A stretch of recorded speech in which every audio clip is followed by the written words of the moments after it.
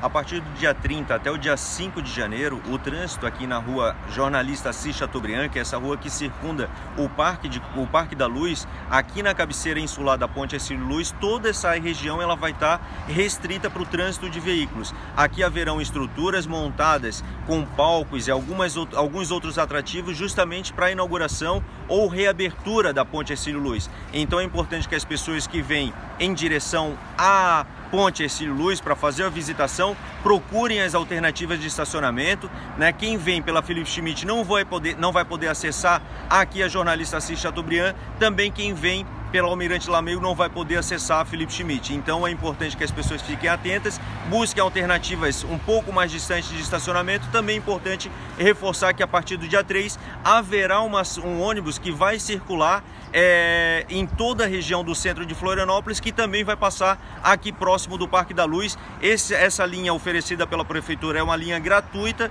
onde as pessoas vão poder vir para cá e desfrutar e conhecer também o, esse belo cenário e essa reestrutura que nós temos aqui da ponte.